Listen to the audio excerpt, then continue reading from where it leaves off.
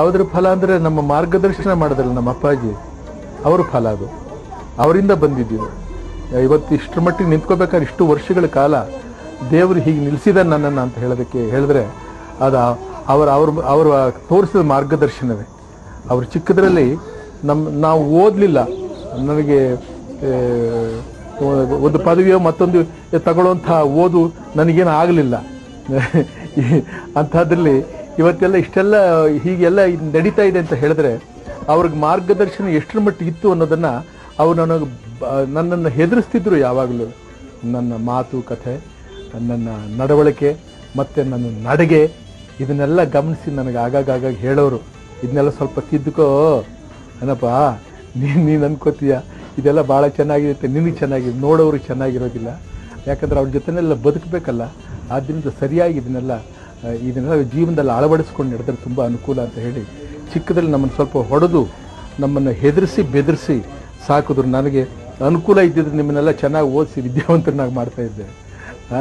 ನನಗೆ ಅನುಕೂಲ ಇಲ್ಲದೆ ಇರೋದ್ರಿಂದ ಕಂದ ನಾನು ನಿನ್ನ ಹೆದರಿಸ್ತೀನಿ, ಹೊಡಿತೀನಿ ಇದರ ಪರಿಣಾಮ ಮುಂದೆ ನಾನೇನಾದರೂ ಬದುಕಿದ್ರೆ ನಾನು ನೋಡ್ತೀನಿ, ನೀನು ನೋಡು, ನೀನು ಗವಾಗಿ ಜ್ಞಾಪಕ ಮಾಡ್ಕೊಂತ ಹೇಳ್ತಾ. ಹಾಗೆ ಬಂದ ಒಂದು ಫಲ ಅಂತ ಹೇಳಬಹುದು ಇದನ್ನು ಹೌದು, ನನ್ನ ಪ್ರಯತ್ನಕ್ಕಿಂತಲೂ ನನ್ನ ಪ್ರಯತ್ನ ಬಹಳ ಕಮ್ಮಿ.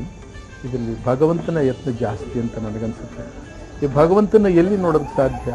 ಅದಕ್ಕೆ ನಾನು ಒಂದು ಸಮಾರಂಭದಲ್ಲಿ ಹೇಳಿದ್ದು ಇದರಲ್ಲಿ ಹಿಂದೆ ಈ ಕರ್ನಾಟಕ ರತ್ನ ಪ್ರಶಸ್ತಿ ಕೊಟ್ಟ ಸಂದರ್ಭದಲ್ಲಿ ಹೇಳಿದೆ. ಈ ಸುಮಾರು ಲಕ್ಷಾಂತರ ಜನ ನೆರೆದಿದ್ದಾಗ ಈ ನಿಮ್ಮ ರಾಜ್ಕುಮಾರ ದೇವರು ನೋಡಿದಾನೆ ಅಂದ್ರೆ ನಂಬ್ತೀರಾ ಅಂತ ಹೇಳಿದಾಗ ಅವ್ರುಗಳೆಲ್ಲ ಆಶ್ಚರ್ಯ ಆಯಿತು. ಏನೋ ನೋಡಿರ್ಬೋದು ಏನೋ ಅಣ್ಣವರು ಅಂತ ಅವರೆಲ್ಲ, ಅವ್ರಿಗೊಂಥರ ಆಶ್ಚರ್ಯ. ಆವಾಗ ಹೇಳಿದೆ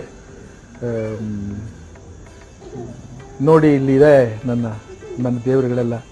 ಬರೀ ಒಬ್ಬ ವ್ಯಕ್ತಿನ ನೋಡೋದಕ್ಕೆ ಎಷ್ಟೊಂದು ದೃಷ್ಟಿಗಳು ನೋಡ್ತಾ ಇದೆ ಮತ್ತು ಇವೆಲ್ಲ ದೇವರುಗಳಿಲ್ಲದೆ ಬೇರೆ ಯಾ, ಏನಾಗೋದಕ್ಕೆ ಸಾಧ್ಯ?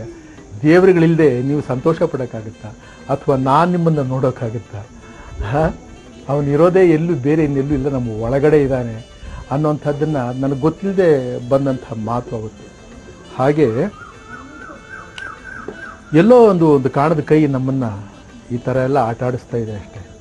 ಇದು ಇದು ನಮ್ಮಿಂದ ನಾನು ಮಾಡಿದೆ, ಇದೆಲ್ಲ ಸುಮ್ಮನೆ ನಾಲಿಗೆ ಚಪಲ ಅಷ್ಟೇ.